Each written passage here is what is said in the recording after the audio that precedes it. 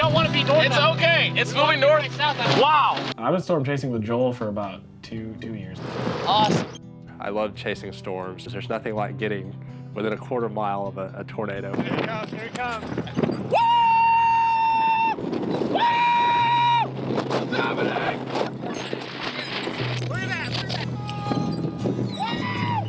I've been on Good Morning America for Throckmorton. Look at it. Look at this thing. This is a beast. In the interview, he said that he was driving 100 miles per hour in his car. He definitely takes more risks on a lot of things. Get a little closer, Joel. There's a lot of people out there that think that Reed is way too aggressive in the way he chases. A lot of that is really personal opinion. Seems like I keep having to get closer and closer each time. Keep going. Keep going. Keep going.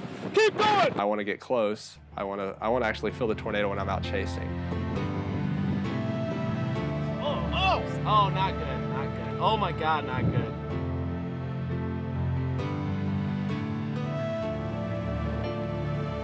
We're not out there to see death and destruction. We're out there to see, I guess, Mother Nature in a, a po- powerful form.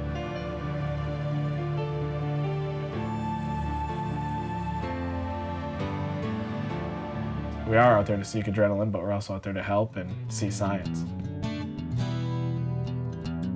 The one thing I do that's crazy, some people skydive, some people climb mountains, I chase tornadoes. You drive, you know, three straight days for five minutes of excitement. But that five minutes is the most amazing five minutes of my life.